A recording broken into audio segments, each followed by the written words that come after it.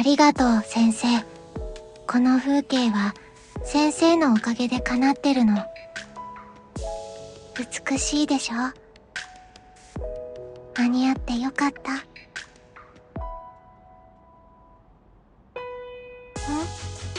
どうしてそんなに頑張ったのかって？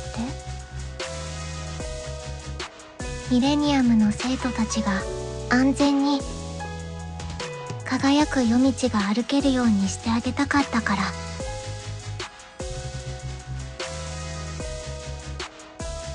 私にできることはこれくらいしかないからそして私にとって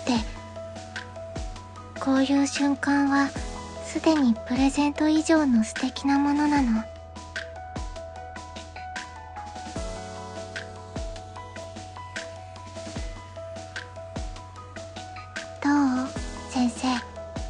まだ時間はあるからもう少し一緒にいてくれる？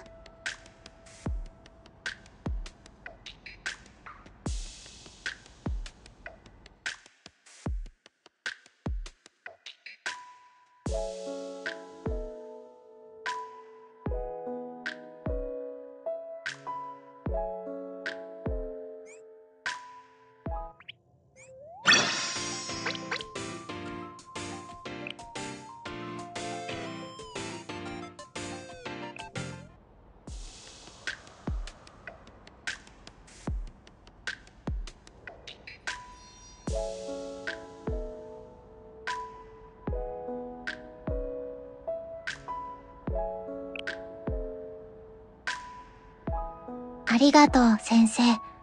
この風景は、先生のおかげで叶ってるの。美しいでしょ？間に合ってよかった。